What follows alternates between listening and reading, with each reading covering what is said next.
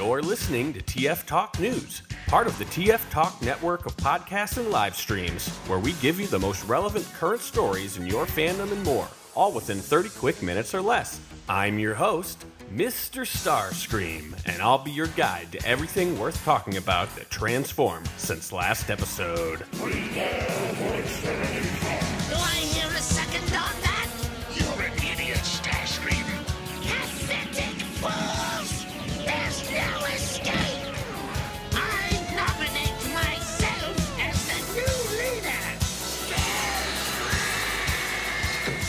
Discover more of our great shows at tftalk.net and follow us on social media channels at TFYLP. Welcome to this abridged edition of TF Talk News. There just wasn't a lot of toy news this week, except for the major bombshell of TFCon Orlando being canceled this past Thursday. If you recall last week, I highlighted the fact that the airfare and hotel costs for attending this convention were dropping amidst the COVID 19 fears sweeping the nation. Unfortunately, it appears I will, in fact, not be going to Disney World. Nor will I attend TFCon, since the organizers had to make the disappointing and difficult decision to pull the plug on the event. Ultimately, this decision was made with the public's best interest in mind, and no one should fault them for it.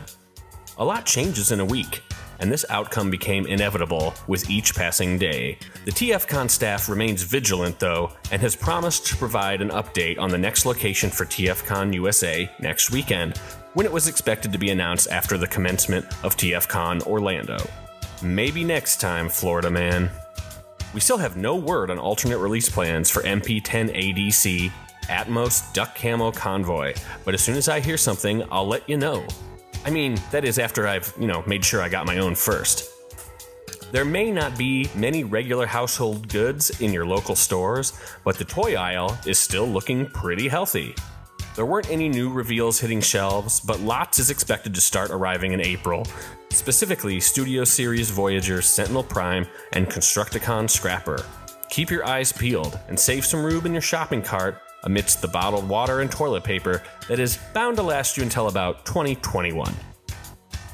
Tomorrow, March 15th, at 7 a.m. Eastern, Season 3 of Cyberverse, titled Bumblebee Cyberverse Adventures, will air on the Cartoon Network. It's been made very clear that this is the final season of this animated series, and the tone appears to be turning a bit darker.